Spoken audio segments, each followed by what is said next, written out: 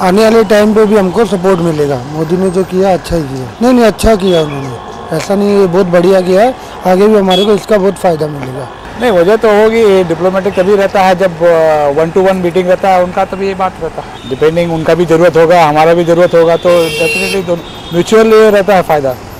Give and take दोनों side से रहता है सर एक ही साइड से किसी से कोई भी पॉलिटिक्स हो कोई भी पॉलिटिशियन जावे फ़र्क नहीं पड़ता उससे। जैसे कि अपने प्राइम मिनिस्टर नरेंद्र मोदी जी इतना देश घूम रहे तो डेफिनेटली हम लोग का जो फॉरेन का होम मिनिस्ट्री जो बात चल रहा है तो इससे डेफिनेटली कुछ फ़र्क पड़ेगा। और जैतापुर में जो प्रोजेक्ट में हेल्प की है, वो मोदी के दौरे के वजह से ही हुआ है। अभी देखते आने वाला समय बताएगा मतलब किस तरह से वो हमें भी उसका फ़ायदा होगा।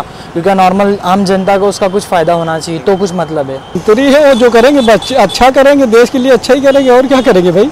हमको तो भाई, जो कर रहे हैं देश के लिए, वो अच्छा ही समझ में आ रहा है कि अच्छा ही करेंगे समझ।